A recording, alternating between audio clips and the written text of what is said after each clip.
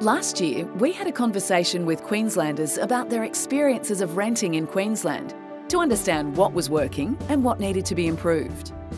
Thousands of tenants, rental property owners, and property managers joined the conversation, and over 135,000 responses were received. From all this great feedback, we've developed a consultation regulatory impact statement, which sets out options for changes to tenancy laws to address the issues that matter to Queenslanders. With more Queenslanders renting and renting for longer, we know it's important that tenancy laws support individuals and families to find a safe, secure and sustainable home in the rental market. These laws also need to protect the investments of property owners who contribute much needed supply to the housing market.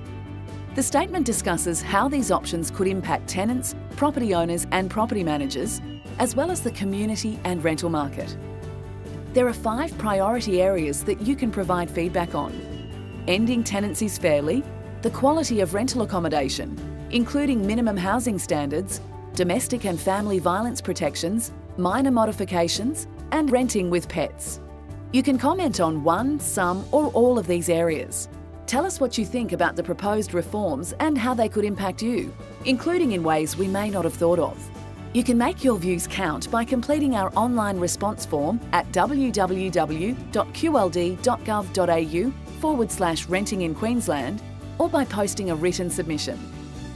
For more information, call 137468.